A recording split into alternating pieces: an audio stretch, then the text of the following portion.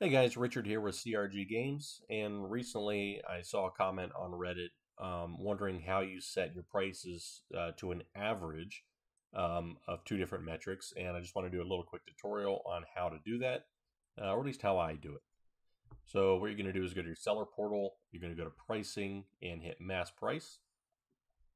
Here's your dashboard. You're going to create a new rule, and we're going to do our selling prices. So we're going to name our uh, rule. I'm going to name it 2 because I already did it earlier for practice. And um, you can either do any with price, which I think takes a little bit longer because it will price all magic cards, regardless of whether you have them in your inventory or not. I want to do my inventory only. Um, pick your channel. My store prices, if you have any inventory setback for your store, that's what that's for.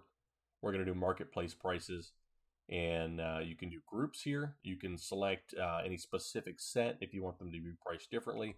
I just want all cards priced the same.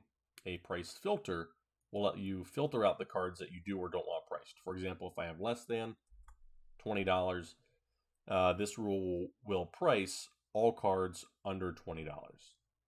Same thing goes for greater than, less than or equal to, so on and so forth. So we'll hit none, go to continue and you can either base your prices on market price, for example. Um, that will set all of your cards to market price. You can do the same with the other metrics, or go to average of. I like to do the average of the market, excuse me, market price and TCG direct low because I sell direct, and then you can modify that by some amount, either dollars or percentage, up or down. Uh, as an example, uh, Boseiju Who Endures uh, direct low is $28, but the listed low is $25. So it's going to put it in between there. So you're going to be around $26.50. I find that fair. If we look at our sales history, um, we are right in that range. You know, we're a little bit higher uh, than what's been selling. But if you look here, uh, the price is slowly ticking up a little bit. So at some point, you know, that 2650 or so is going to be right in there where everything's selling. Um, we'll go to continue. This is your safety net. So the minimum I want anything to be priced at is market price. I don't use any modifiers, but you can do the same thing here. And you can have it skip uh, any updates that would drastically change the price of a, a card um, an individual card. So if it were to change more than 50, percent it will kick that out and you can review it later in the activity log. So we'll go to continue. We're going to save this. I'm going to save it. Then we're going to go back to it and uh, I will preview. This will show you what would uh, happen if you run this rule. Um, so I'm going to go to uh, let's say Adventures in the Forgotten Realms, for example. So I got 16 cards listed here. Werewolf Pack Leader, I had listed at 378. It's now listed at 343. There's my change, and there's my percentage. So this will help you to become more competitive. If prices have dropped a little bit and your inventory stayed higher and it's not selling, this is probably why, and this tool will help to bring that back into line.